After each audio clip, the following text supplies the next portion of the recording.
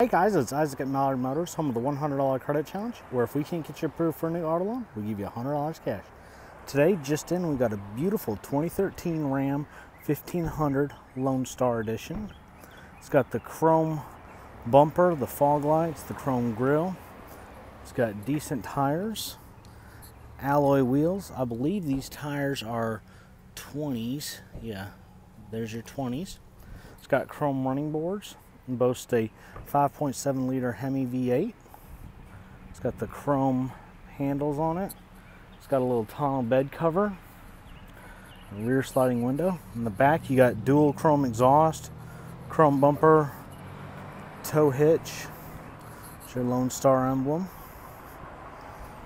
Beautiful white. It's the full crew cab, not the small back door. It's got four full doors, lots of room.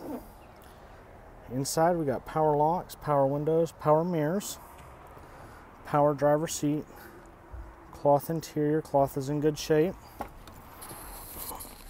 Center console, you got two layers. The top layer has some of your options like auxiliary, USB, SD card, etc. And then you got a deeper cavity down there for additional storage. You also got a little storage spot there for where you can set your phone. The remote has lock, unlock, and remote start options. Gonna go ahead and start her up. As you can hear, started right up. Radio works. Got 148, 875 on the miles. Got lots of apps. Of course, your climate controls as well, which are currently off. There's your climate controls.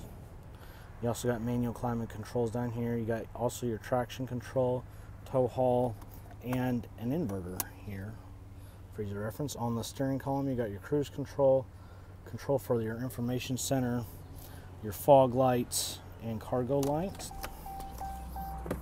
as well as automatic uh, control on the headlights. Back, as I said, has four full doors, lots of leg room in the back. As you can see, there's a good probably two and a half feet between the seat and the front seat. Three seat belts in the back, rear sliding window, headliner's in good shape.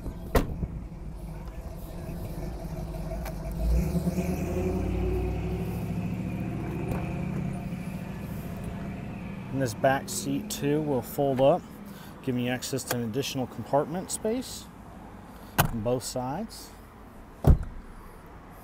The center part, I believe, folds down into a cup holder if you're not using the center seat. The passenger side, power locks, power windows, two glove compartments here. A little additional storage there. Of course, access to the chargers and the inverters. Seat here looks like it's barely been used, if at all.